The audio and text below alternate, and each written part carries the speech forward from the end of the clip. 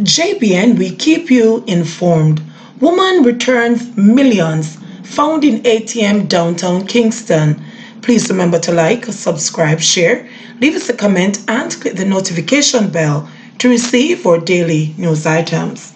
Ackaisha Green was inside the ATM at Central Police Station on East Queen Street in downtown Kingston two Wednesdays ago when she stumbled upon a stash of cash suspected to be millions of dollars. She, however, felt it was not hers to keep. The mother of two, who ekes out a living in inner city James Street in central Kingston, could have provided a better life for herself and her children, but she decided that handing over the money was the right thing to do.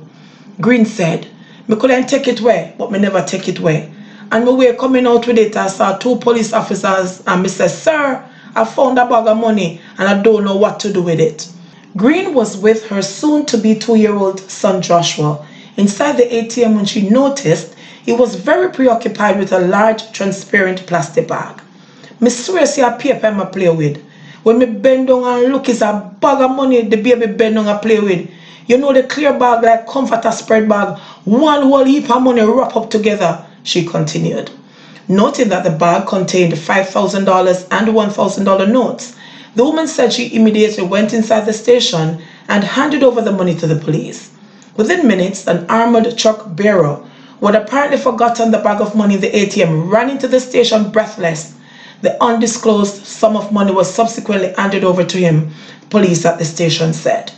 Green said she received a heavy tongue lashing from her mother, who described her as the stupidest of all my children. And Misha begged 200 this man to give her son to go school. The mother complained with a loud hiss of her teeth. Green claimed that her three-month contract at the University Hospital of the West Indies, where she worked as a porter, had ended recently. Me have used to the money, you know, because I take the money, but it not belong to me. Right now, but I love some of it. But that was the right thing to do, she repeated, as she got ready to visit an employment agency. Enough people say me shouldn't do it, but me give it back she added. The 24-year-old, who made it clear that she wants to pursue a housekeeping course at the HEART Trust NTA, said she needed a skill that would allow her to sustain her family. A police officer assigned to Kingston Central Police Station cooperated Green's story about returning the lost money. The officer, who asked not to be identified because she was not present at the time, said that she heard about the incident from her colleagues. She was unable to say how much money was inside the bag. Due to how it was stuck together, it wasn't easy to check, but it was certainly a large sum of money, the policewoman said.